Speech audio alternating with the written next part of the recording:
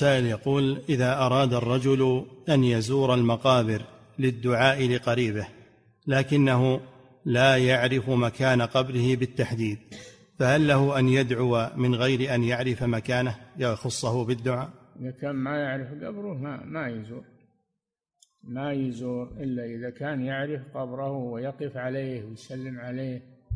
نعم.